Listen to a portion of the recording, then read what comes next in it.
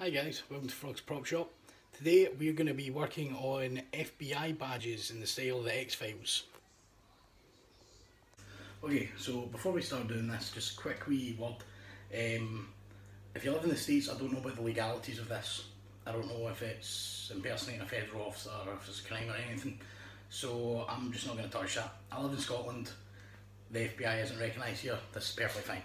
So, first thing you need two black leather passport holders. Okay, you're better with two of them. One for the actual badge itself, another one for basically the scrap leather that you'll be using at the front.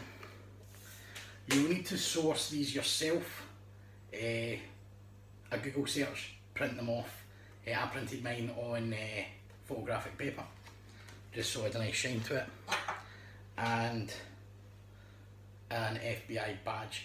This I found on eBay as an FBI money pin. Uh, it's a it is actually a bit um, it's a money pin I suppose it's kind of small for the actual official FBI badge but those are the basics of what you need. Now we'll just jump straight into this. Let's go. Right, so the first thing you'd want to have done is when you printed these off, made sure that you print them off to size. Everything is going to fit in the place that it would as an FBI badge.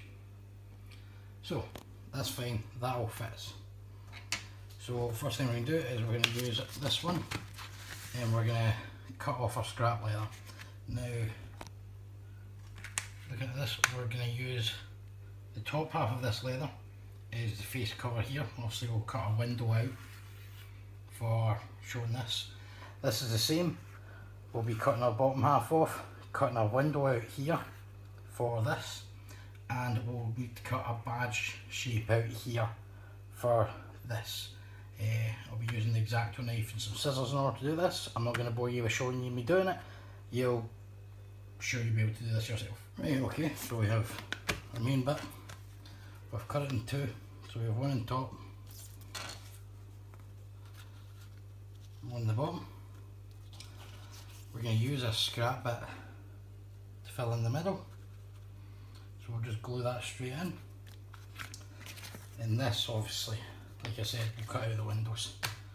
So, you take this,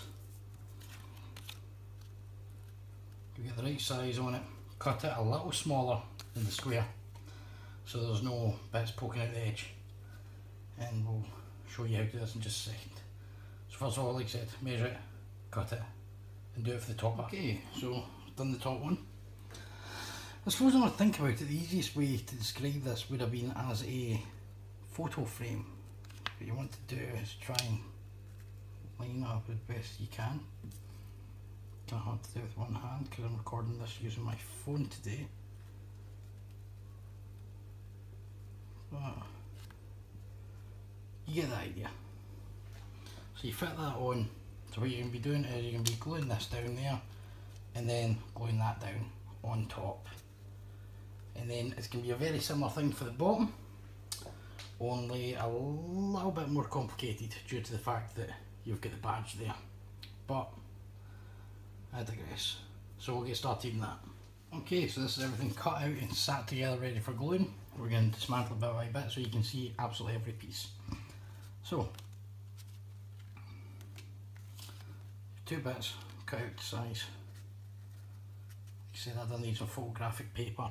Just Google search for X-Files FBI badge and you'll find Mulder's and Scully's. Right, gold badge. Uh, I took a bit of scrap leather and attached it to it. That way the background should be leather on it when it's put on here. Your two bits of frames, I suppose we'll call them. This bit here, you can see here I cut out the shape of the badge so that I can tuck it in. So it'll be, it's a mess can do it with one hand. It'll all be put together and glued piece by piece down, layer by layer. Uh, if you feel better doing it, you can glue it down to the frame first or you can measure up against that. Either way is fine, uh, but just start gluing. So with all the layers glued into place, that's how it comes out. Now one thing I did do was I got some black boot polish and wiped it into the badge and then cleaned the badge. Uh, that way you, get, you can see all the detail in the wings of the eagle and everything. Uh, like I said, this is pretty shoddy, very quickly put together, very very quickly done. Uh, the only reason I did it so quick is I've been waiting in these passport holders because all the other passport holders I could find all had like passport printed on them and things.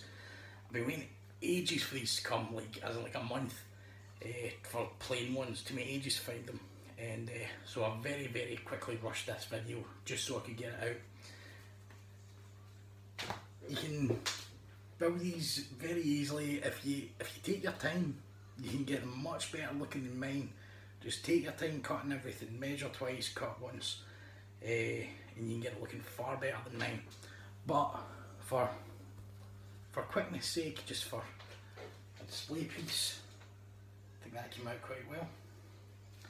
And remember I only used Mulder as an example. Obviously you could do Scully you could use them to make uh, the supernatural FBI badges.